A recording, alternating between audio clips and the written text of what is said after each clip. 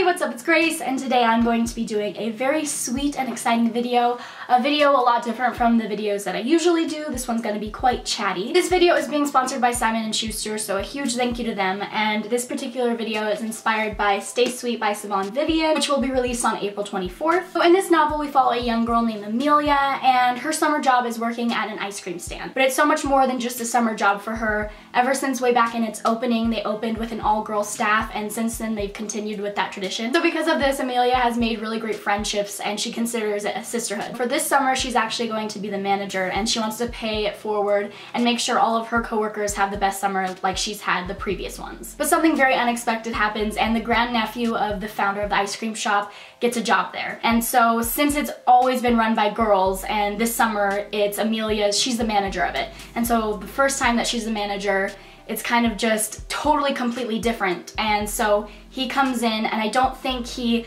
cares about the traditions, so that adds some conflict there. I think this is gonna be such a fun read, given that ice cream is a huge part of this novel, even like in, I think it was a blurb that I read, that ice cream is its own character, especially when I think about reading To All the Boys I've Ever Loved trilogy, how baking was a huge part in that book, and it just made me really excited. I don't even like baking, but I do love ice cream, so I just feel like it's just gonna be really sweet, and um, definitely there's gonna be some enlightenment. I feel like Amelia's gonna show Grady, the grandnephew, just how things are run, and that he can't just come in and pretty much upturn everything. I feel like they're both gonna discover great things and the summer's gonna be epic and it's just gonna be a great summer read. You're probably wondering what this video is gonna be about since it's titled Ice Cream Sunday, Like what does that entail? What I am going to be doing is I'm going to be making my own version of a Sunday and I'm gonna be just updating you guys on my life. Also other booktubers are going to be doing the same style of the ice cream Sunday video every Sunday of this month which is really awesome. I know that Hannah over at A Clockwork Reader did a video like this so I will go ahead and link her video down below. You should check it out because it's really lovely. I'm also going to be hosting a giveaway where you can win a copy of Stay Sweet in addition to another prize, which stick around to the end of the video to check it out, and then how to enter the giveaway. So without further ado, let's get started with making this ice cream sundae and talking about my life because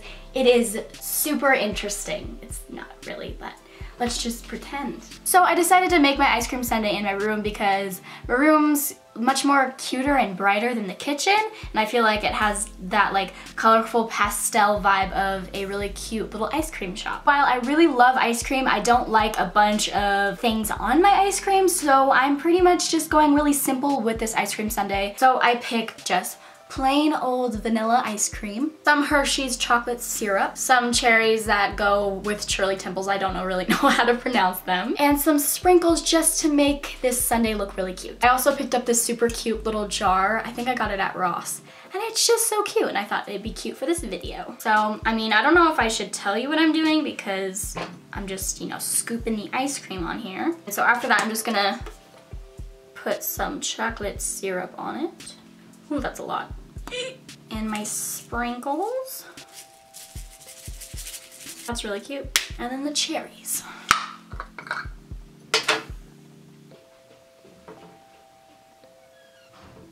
So here is the finished product. I am a freaking dessert chef. I mean, it's cute. It's kind of cute. It's pretty cute. But is it good though? That is the ultimate question. So here we go. Mm-hmm. But it is very good. Okay, so on to my life. If you guys aren't aware, I recently moved. I used to live with my best friends, McKenna and Sierra, and it was so fun living on my own, especially with my best friends because it was like a slumber party every night. And you know, it was just super fun and we got to decorate. It really felt like I was an interior designer because we had our own apartment. We got to do whatever we wanted with it and it was so cute. But unfortunately, living on my own was just so expensive. Wanted to go back to school and so that was just another, you know, expense that I had to pay for. And it just wasn't feasible. Like I couldn't work, go to school, and pay my rent and all that. So I moved in with my sister and her boyfriend who are two of the loveliest people ever. They, my sister is my best friend. I know that with a lot of sisters, like you fight a lot. And I feel like definitely we did when we were younger. But since we're older now, we're just like best friends. And it is, again, kind of like a slumber party every night. I love living with my sister. She's, I describe my sister as being the best human. She is just so wonderful. I love her boyfriend. He's like my brother and it's just a great time. I also am going to be going back to school. I'm going to start summer classes and then transition to the fall semester. Um, what I want to be doing is I want to be a teacher, but I also want to double major in film. I want to learn about screenplay and writing, pretty much anything that goes with making a movie and being in a movie. If you weren't aware, I um been in acting since I was like in sixth grade and then prior just kind of just being dramatic and being in my room and making little films on like my mom's cameras. So and acting is a huge part of my life as well. I also love kids and I would love to be a teacher so that's another huge passion of mine. I'm trying to think of other interesting things in my life.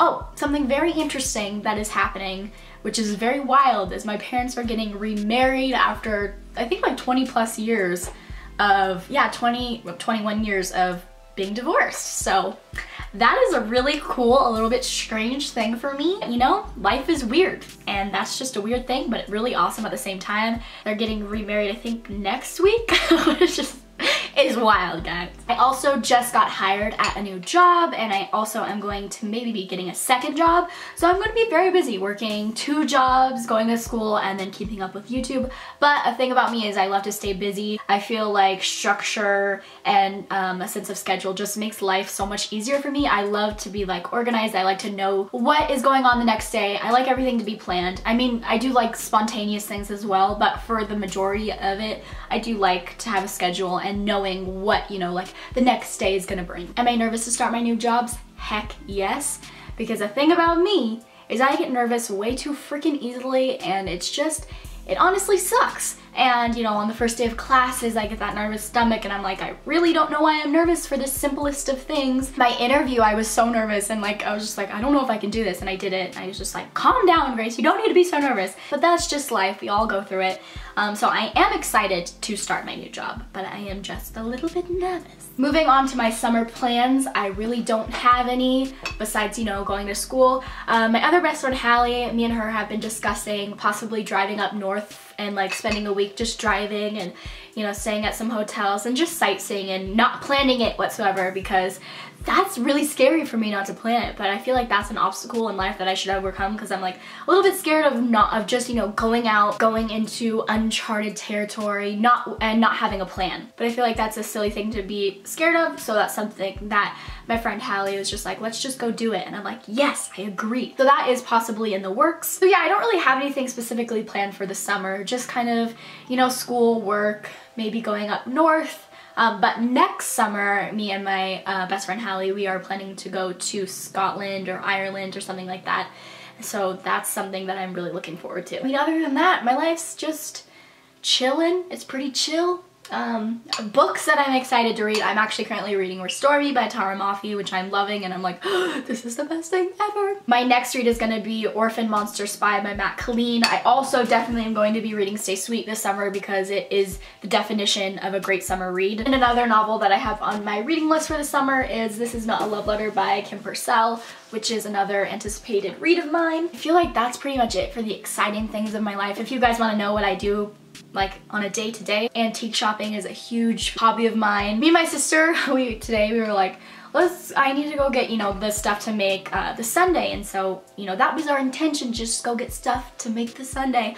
But I ended up buying like a shirt, this really cute jar thing, some other little knickknacks. Um, so yeah, another passion of mine is just pretty much shopping and buying random stuff. For example, let me show you the other two things that I bought that are not necessary, but like very necessary. I bought these very cute cat headphones that were only $10 and they work fairly well for being so cheap. And then I really needed to get a shower cap and I found this on the checkout. We were at TJ Maxx and it was just sitting there and I was like, well, I need a shower cap. And it's this bunny shower cap. Let's just go ahead and try it on. I know that the lighting is probably really weird right now because it keeps getting really bright and then pretty dark, but that's just because it's a gloomy day and I use natural light and the clouds are like, pass, oh wait, oh wait, I'm coming back. So Sorry about that. That reminds me of that 70s episode when Kelso was like, Damn, Jackie, I can't control the weather. So here is this much needed bunny shower cap. Oh my gosh, this is gonna look ridiculous on me. I'm looking pretty good. I think this is gonna be my new accessory every day. Plus these cat headphones, like,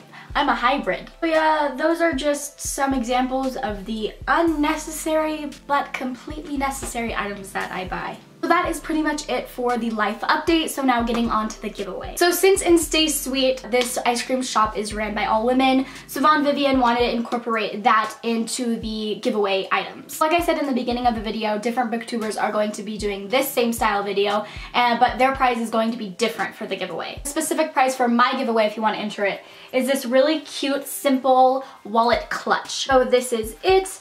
And this is from the brand Clare V, and then when you open it up, it looks kind of like jeans. So if you're interested in getting a copy of Stay Sweet along with this Clare V clutch, I will go ahead and leave the giveaway link below. I'm using Rafflecopter, so just click the link and follow the prompt. It's pretty simple. The giveaway is US only though. That was my ice cream sundae video. I hope you guys enjoyed it. I had a really fun time making it. If you guys are interested in more like chatty getting to know me videos, let me know because this is just such a, like a chill video, chill relaxing video to make. I hope you guys are having a great time wherever you're at and I will see you in my next video. Bye.